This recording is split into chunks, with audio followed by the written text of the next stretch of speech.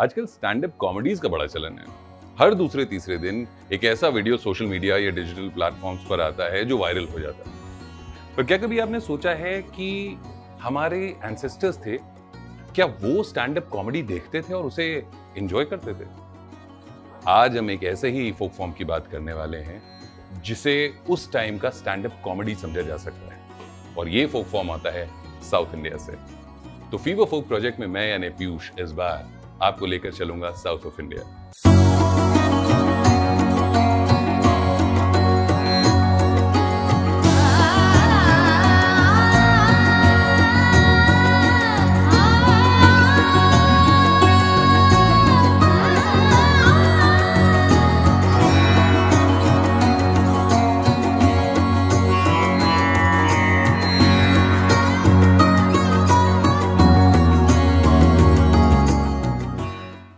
आपने नोटिस किया होगा कि आजकल दुनिया भर में स्टैंड अप कॉमेडी का चलन है। सोशल मीडिया प्लेटफॉर्म्स पर तो ऑलमोस्ट हर रोज ह्यूमर से जुड़े हुए वीडियोस वायरल होते रहते हैं। पर क्या कभी आपने सोचा कि हमारे एंसेस्टर्स भी कॉमेडी एंजॉय करते थे क्या? जी हाँ आज हम जिस फोक फॉर्म की बात कर रहे हैं, वो एक तरह से एक एंशियंट स्टैंड अप कॉमेडी है। अब स्टैंड अप कॉमेडी में क्या होता है? एक इंसान होता है जिसकी ऑब्जर्वेशन कमाल की होती हैं और वो अलग अलग सब्जेक्ट्स पर अपने ह्यूमरस और सकास्टिक कमेंट्स या टेक्स देता है। केरला के चाक्यार कुथु में भी ऐसा ही होता है।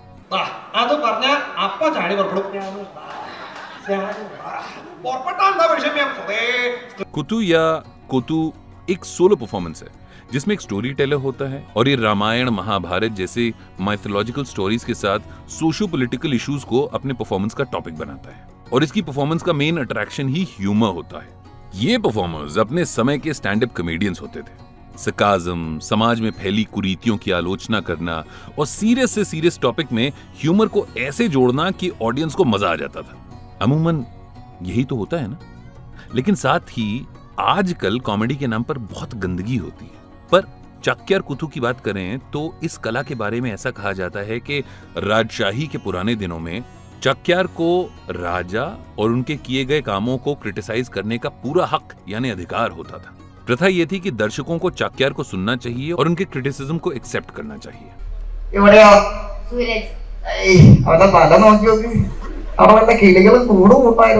चक्यार कुतु में एक यूनिक परफॉर्मेंस होती है। चावल के पाउडर हल्दी पाउडर और काले पाउडर से चेहरे का मेकअप किया जाता है।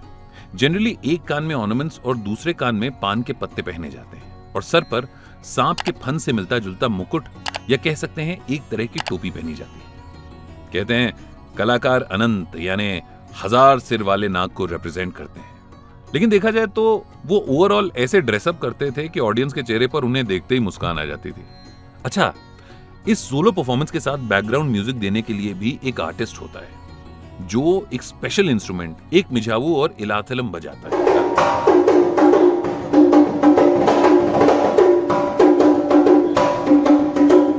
फोक फॉर्म को केरला की चाक्यार कम्युनिटी परफॉर्म करती है।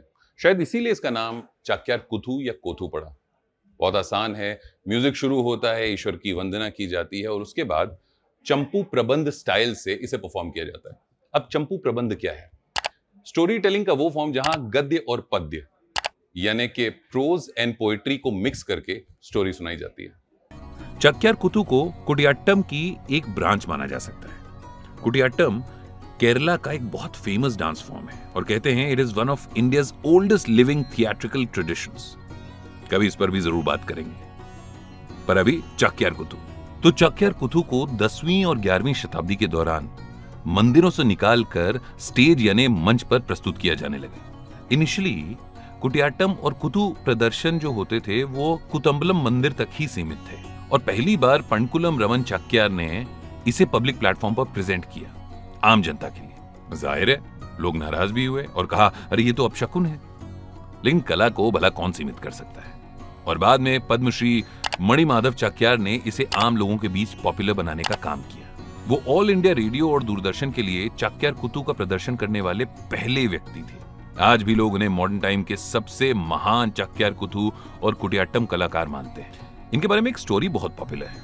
कहते हैं, उनके गुरु राम वर्मा परीक्षित तंपुरन ने प्रहलाद रचित नाम से एक संस्कृत चंपू प्रबंध लिखा है और कुछ बड़े आर्टिस्ट से इसको परफॉर्म करने की रिक्वेस्ट की। लेकिन उन्हें कोई ऐसा मिला ही नहीं जो उनकी इमेजिनेशन को स्टेज पर उतार पाए। फिर उन्होंने यंगस्टर मणिमाधव चाक्यार को एक मौका देने की सोची। वो अग्री हो गए और रात भर प्रैक्टिस करके उन्होंने प्रहलाद चरित के एक छोटे हिस्से को तैयार कर लिया। और अगले दिन कोचिन साम्राज्य की राजधानी त्रिपुनिथुरा में इसका शानदार परफॉर्मेंस हुआ। इस घटना ने संस्कृत और शास्त्रीय कला दोनों रूपों में उनकी महारत को साबित कर दिया। कुछ महीनों बाद उन्होंने एक ही मंच पर पूरा प्रहलाद चरित परफॉर्म किया। और फिर मणि माधव चाक्यार इस कला से जोड़कर देखे जाने लगे। अब यार एक बात तो क्लियर है कि ये फोक फॉर्म यूनिक है।